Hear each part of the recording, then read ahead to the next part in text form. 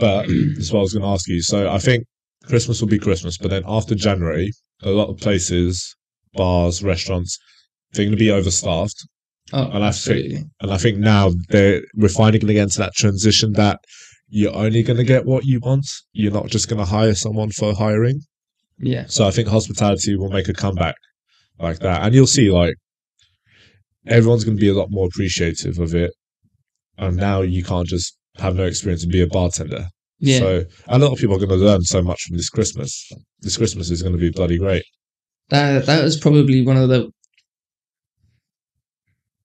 uh, not one of the worst things I'd say, but post COVID, one of the least enjoyable things about being a supervisor or a bartender was the fact that you were having people join the bars who had zero experience, who weren't even going into the bar back role first. They were coming Yeah. straight to the bar.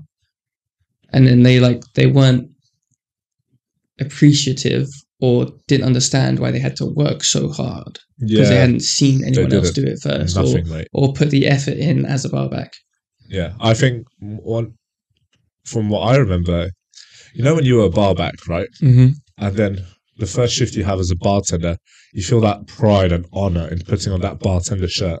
Yeah, In places that you know have different codes for the shirts, but I remember it used to be like a great satisfaction. I remember seeing so many barbacks all of a sudden we're in the changing room and they just put on that bartender shirt and they're so proud to have it on.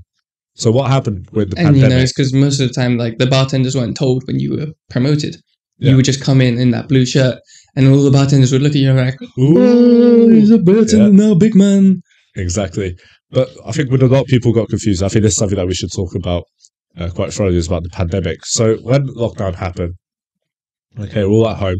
When things reopen, most everything's kind of still the same the way we work, like Mhm. not with the restrictions, but the bartenders, the drinks, and everything. Yeah, Because at the time, people are struggling to get a job as well. yeah, And then for me, when it all changed, was Freedom uh, Day.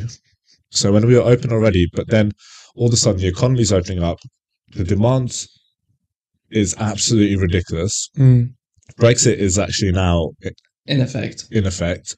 So that was a very bad combination. And then what happened was this is why 99% or even 99.9% of uh, establishments in hospitality struggled with staff turnover, just quality of staff they were getting because, you know, look, every time we had new staff, they were all from Eastern Europe or just Europe Yeah. in general. You would rare, rarely get an English bartender or an English bar back.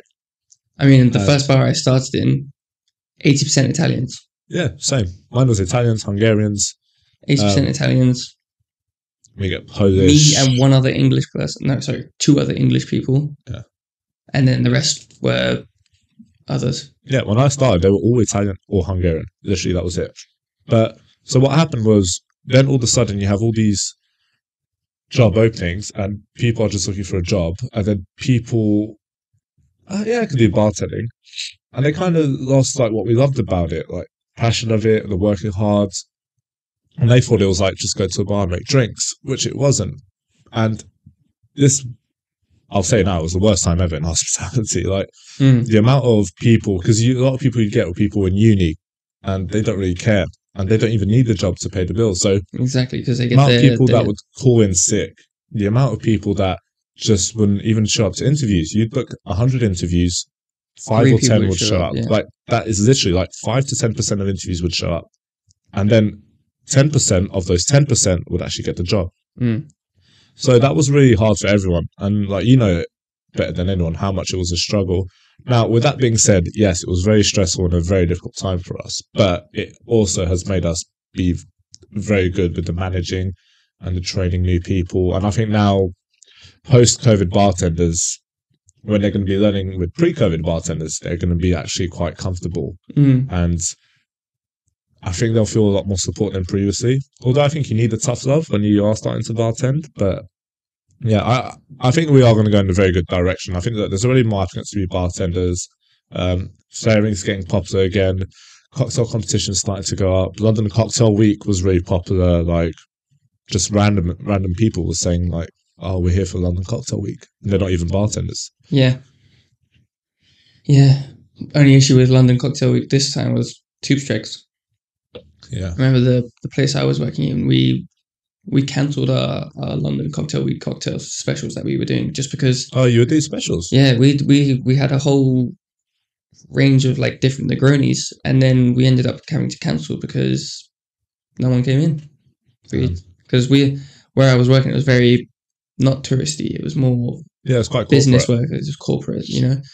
So all these corporate people who were normally coming in to work weren't coming in because of the super tracks. They were all remote working, which one is another downfall of the hospitality industry. This remote working because then it means no one is forced to come central London anymore. Yeah, I realised a lot of that as well. Like one of the best things about our job is the way we get to interact with customers. And you know, when like we used to do this, these cocktail classes, Mm, where we'll take customers behind a bar, like ten of them, they're all booked, yeah, and they'll like make these two cocktails. I used to love doing them; they were really fun and engaging. And then with the pandemic, we started doing them over Zoom, and I still love doing it. It was one of my favorite things to do. I used to do like once a week or sometimes twice a week, and I love doing it. But then you got to kind of realize, like, it's got to be fun and engaging. But then some of the groups you're getting, because these are mostly companies. Like last Yeah. time, I just like a group of family members yeah, or you can have just like these girls in their early 20s who just want to have that cocktail, catch up with friends. Or you're going to have these lawyers, which are the worst ones you could have for cocktail class because they are so serious. like, um, oh God, what was it? So when it became a part of pouring, um, we were doing an espresso martini, and I think I told him to pour um, half of the bottle of uh, vodka, and this guy just poured the entire bottle. And his name was Drake, and I was like, okay, it looks like Drake knows how to party, and then everyone just quiet.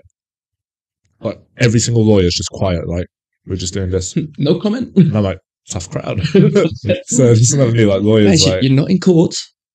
You're with a bartender. like, you can up. tell you can tell me what kind of partying you do. I'm not going to use it as evidence against you. It's like probably done the same or worse. Like No, the worst part is when we we done the cocktail, you know, we have a try, and everyone's like, oh, that's nice, or oh, it's a bit too sweet. All of a sudden, I try it, and I'm like, all right, guys, what do we think? And then everyone's just like, not a word, they're just like, I'm like, okay. It was meant to last like an hour. That cocktail class lasted like for 25 minutes because you just had no interaction with them. Mm.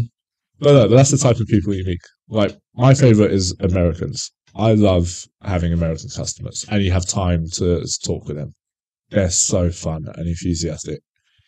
Especially like yeah, it's true.